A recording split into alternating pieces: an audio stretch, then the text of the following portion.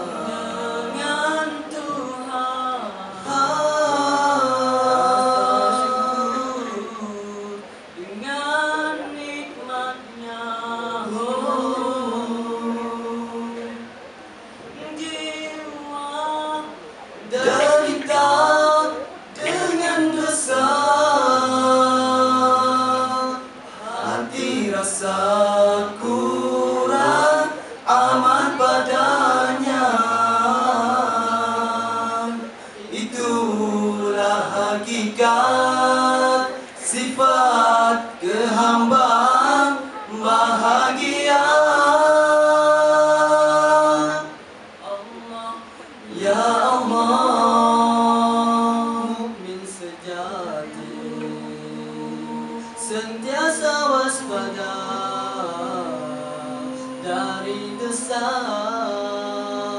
Tanpa sengaja. Apatah lagi Dosa yang